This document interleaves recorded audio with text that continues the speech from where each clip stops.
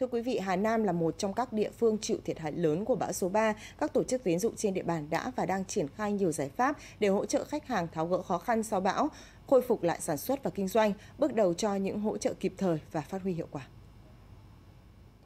Theo tổng hợp của Ngân hàng Nhà nước chi nhánh Hà Nam, toàn tỉnh Hà Nam có hơn 1.000 khách hàng của tổ chức tín dụng bị thiệt hại do ảnh hưởng của bão số 3, với tổng dư nợ thiệt hại hơn 253 tỷ đồng. Gia đình tôi thì ờ, có vay của ngân hàng là 1 tỷ 8.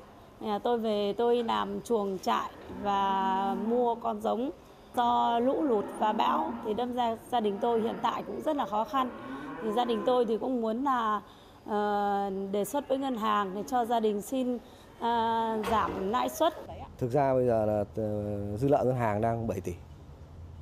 Và tới đây thì cũng tiếp tục cũng đề nghị các ngành ngân hàng đồng hành với, lại mình cũng tiếp tục nhờ giờ đề nghị ngân hàng tiếp tục cho vay vốn rồi có thể là uh, giảm lãi suất để hỗ trợ cho gia đình để tiếp tục uh, còn tái đàn.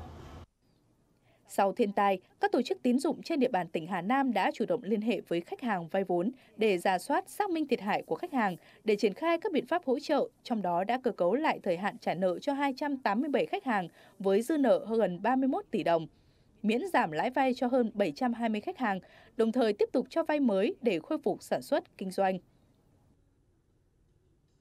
Thời gian tới thì chúng tôi cũng đã chỉ đạo các tổ chức tín dụng và làm việc với lại các hội sở chính của các tổ chức tín dụng để có các cái cơ chế về cho vay mới đối với các cái hộ ờ, bị thiệt hại sau bão. Thì Agribank chi nhánh tỉnh Hà Nam đã thực hiện à, cơ cấu lại thời hạn giả nợ, à, giãn nợ và đồng thời thực hiện cho vay mới theo nghị định 55 và theo chỉ đạo của chính phủ và của ngân hàng nhà nước. Việc thực hiện chính sách hoãn giãn nợ và giảm lãi suất là giải pháp rất quan trọng để giúp người dân, doanh nghiệp bị thiệt hại do bão số 3 vượt qua khó khăn, khôi phục sản xuất, kinh doanh. Sau nhiều lần chuyển đổi mô hình làm ăn thế nhưng không hiệu quả thì một nông dân ở huyện Nghĩa Đàn của tỉnh Nghệ An đã vươn lên làm giàu từ cây cỏ, một loại cây trồng làm thức ăn đầu vào phục vụ chăn nuôi gia súc. Ngoài canh tác thương phẩm thì anh còn buôn bán giống cỏ phục vụ chăn nuôi, góp phần cung ứng nguồn thức ăn thô xanh hữu ích cho nông nghiệp địa phương và phát triển kinh tế gia đình. Chúng ta hãy cùng thăm mô hình của hộ nông dân này qua phóng sự sau.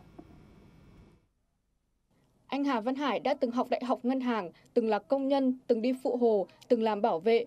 Cuối cùng anh Hải chọn con đường về quê khởi nghiệp từ mô hình chăn nuôi dê và cũng chính cơ duyên từ nghề chăn nuôi dê đã giúp Hải tiếp cận với nghề trồng và buôn bán giống cỏ chăn nuôi. Đã có nhiều người lấy giống cỏ của anh Hải về trồng để phát triển chăn nuôi. Tôi biết được là ở mình ấy thì có nhiều nhưng mà ở nơi khác ấy thì người ta nó còn thiếu.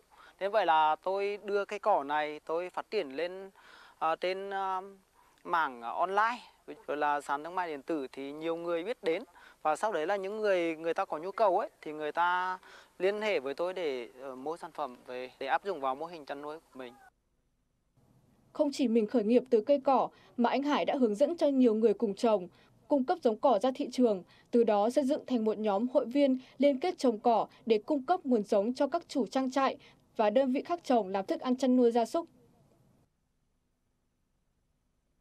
Thì à, khi đầu thì nhà tôi cũng chưa tin tưởng lắm vì chủ rủ trồng cỏ để bán. À, cho nên là à, đầu tiên thì tôi cũng đã thử một ít, sau này tôi là nhân rồng rồng các cái à, à, đám đất của nhà mình ra ấy. Thì à, hiện nay thì tôi à, thấy cái mô hình trồng cỏ bán này thì nó cũng à, à, hợp lý. Anh Hải thì bây giờ là đã mở rộng cái diện tích và hướng dẫn cho một số hồ ở trong xóm cũng như trong xã là để trồng cái cỏ để bán con rộng ấy đấy thì để để để cho một số hồ cùng phát triển Bí quyết khởi nghiệp thành công của anh Hải là tiếp cận đúng cách với thị yếu thị trường và ứng dụng phát triển khoa học công nghệ 4.0 để dễ dàng đến gần với khách hàng hơn. Anh Hải đã truyền tải thông tin của mình tới khách hàng toàn quốc thông qua mạng Internet trên các nền tảng xã hội như xây dựng kênh YouTube, kênh TikTok, kênh fanpage, kênh Facebook, website và sàn thương mại điện tử.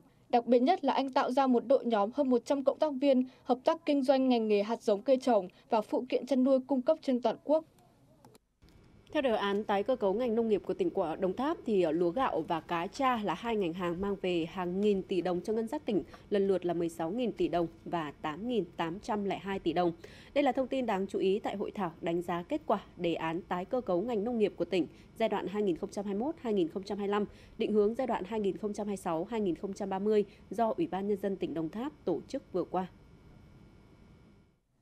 Ngoài hai ngành hàng trên, hoa kiểng, xoài và sen cũng mang về hàng tỷ đồng, ước đạt vào cuối năm 2024, trong đó hoa kiểng 6.276 tỷ đồng, tăng 34,78% so với năm 2020, xoài đạt 2.341 tỷ đồng, tăng gần 22% so với năm 2020, chiếm 4,62% tỷ trọng trong cơ cấu ngành nông nghiệp và sen có giá trị sản xuất là 39,168 tỷ đồng, tăng 188% so với năm 2020.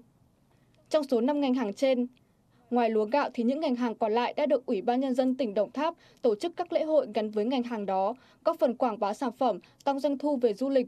Riêng ngành hàng lúa gạo, giá trị sản xuất có thể đạt 16.000 tỷ đồng trong năm 2024.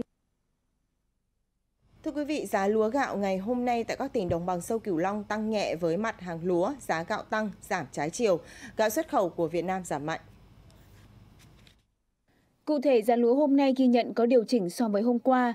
Giá lúa IR50404 ở mức 6.800 đến 7.000 đồng một kg, tăng 100 đồng một kg. Lúa đầy thơm 8 ở mức giá 7.800 đến 8.000 đồng một kg. Lúa OM5451 ở mức 7.200 đến 7.500 đồng một kg. Lúa OM18 có giá 7.200 đến 7.500 đồng một kg.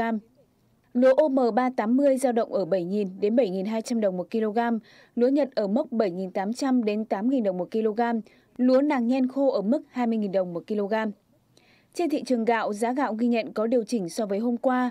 Hiện giá gạo nguyên liệu IR504 hè thu lên mức 10.550 đến 10.700 đồng một kg, tăng 50 đến 100 đồng một kg. Trong khi đó, gạo thành phẩm IR504 xuống mức 12.550 đồng đến 12.650 đồng một kg, giảm 50 đồng một kg. Với mặt hàng phụ phẩm, giá phụ phẩm các loại dao động trong khoảng từ 6.200 đến 9.600 đồng một kg. Hiện giá tấm OM5451 ở mức 9.400 đến 9.600 đồng một kg, giá cám khô lên mức 6.200 đến 6.400 đồng một kg, tăng 100 đến 150 đồng một kg so với ngày hôm qua.